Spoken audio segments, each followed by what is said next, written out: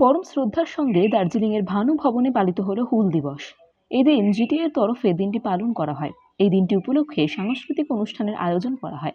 উপস্থিত ছিলেন দার্জিলিংয়ের জেলা শাসক এস পুণ্যবালাম সহ জিটিএর অন্যান্য সদস্যরা এবং অন্যান্যরা।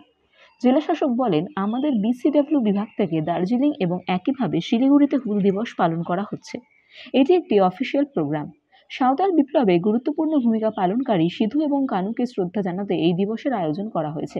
মূলত ভারতের স্বাধীনতা সংগ্রামের একটি উল্লেখযোগ্য দিন হল হুল দিবস। প্রতি বছর তিরিশে জুন পালিত হয় এই দিনটি।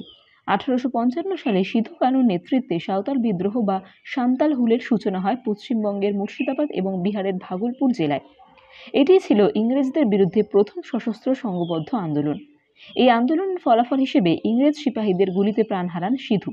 কানুকে ফাঁসি দেওয়া হয় তাদের স্মরণ করতেই প্রতি বছর এই দিনে পালিত হয় হুল দিবস Today we are observing uh, Hool Divas. Uh, Hool Divas uh, is uh, being observed every year by Tribal Development Department, Government of West Bengal. This year we have organized this program uh, from GTA. Uh, यहाँ हम uh, बाणु भवन में organise किए हैं mainly this programme is to pay homage to the Sidhu the great Sidhu and Kanhu उनका जो सांतल rebellion में उन्होंने लीडरशिप दिए हैं आ, उनके लिए रिमेंबर करने के लिए खोमेज करने के लिए आज ये प्रोग्राम ऑर्गेनाइज किए हैं।